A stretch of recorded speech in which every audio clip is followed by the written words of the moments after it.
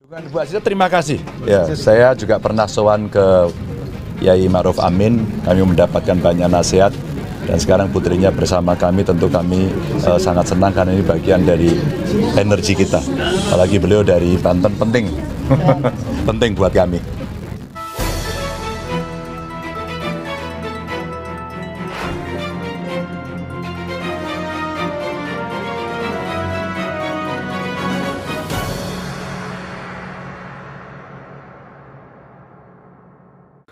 Kubu Ganjar minta KPU tegur Gibran keluar podium saat debat Cawapres. Saya ingin mengajak semuanya untuk sama-sama mendukung ya pasangan yang saya kira sangat eh, lengkap ya kapasitasnya, integritasnya.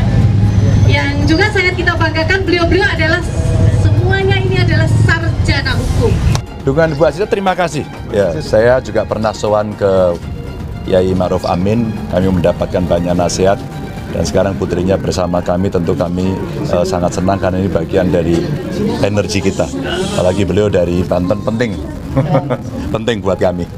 Kalau dia posisinya resmi harus cuti atau bahkan harus mundur.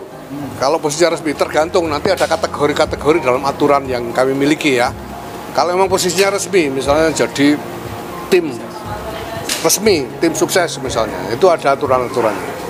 Ya, tapi kalau cuma pribadi, tidak jadi apa-apa sebagai rakyat, ya kita tidak bisa halangi, toh.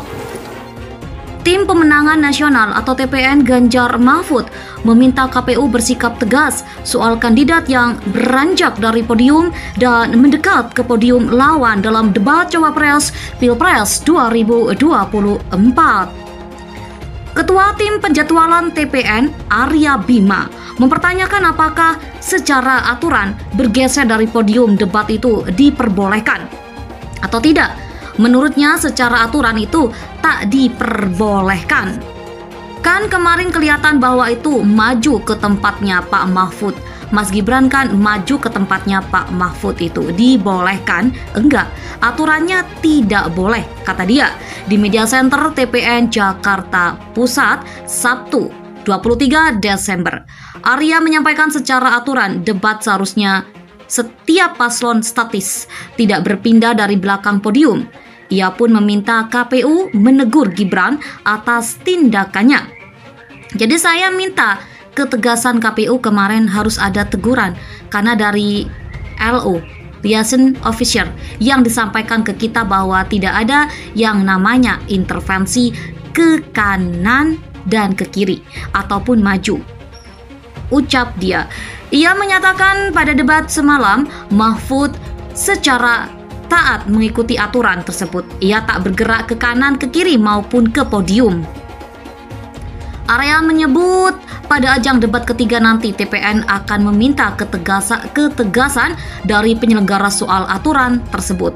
Pada debat perdana Cawapres kemarin, Gibran selalu beranjak dari podium dan mendekat ke arah podium Caimin dan Mahfud. Tiap ia menjawab pertanyaan dari mereka. Begitu selesai menyampaikan tanggapannya, Gibran kembali berdiri tegak di podium.